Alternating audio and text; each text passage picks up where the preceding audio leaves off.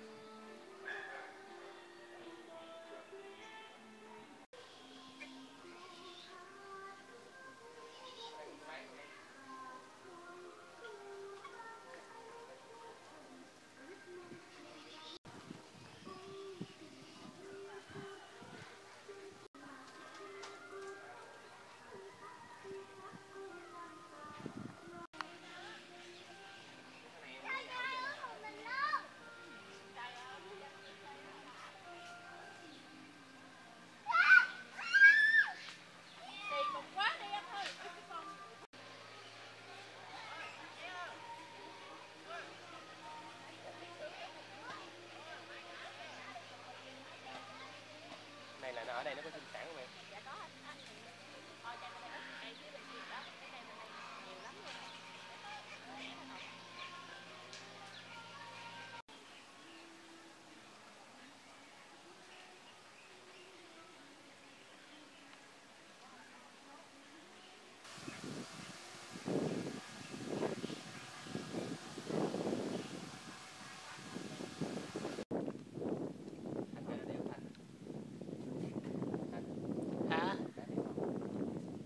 không tội nghiệp nó bạn ơi.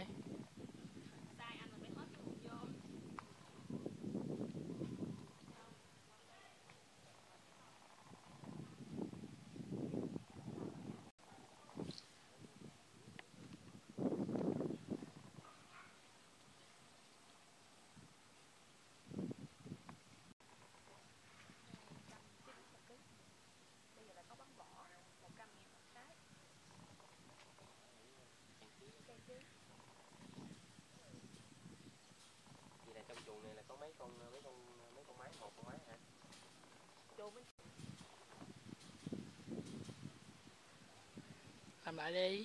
Ừ. Vậy làm phim 3D được này